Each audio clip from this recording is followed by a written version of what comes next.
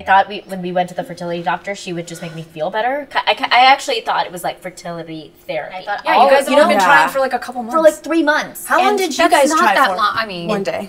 Oh yeah, that's right. It's fine. We're all one shot, one day. That was so crazy.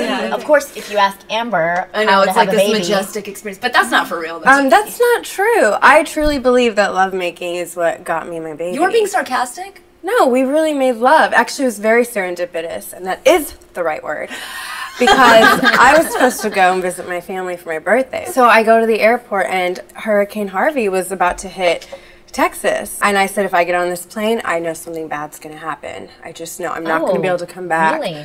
The hurricane's going to hit. The premonition. Yes, the premonition. So I oh stayed at the airport, and my husband was coming back. Did you guys do it in the airport? No. Oh, that was awesome. People Yes. do that. That's not No, now they do, but they Airports don't are dirty. It's kind of gross, but like awesome. Yeah. No. So anyway, I surprised him. He was landing at the airport, and I surprised him, and I was like, I stayed. And then we went and had dinner, and that night we went home, and so Okay. hot. We just, you This know.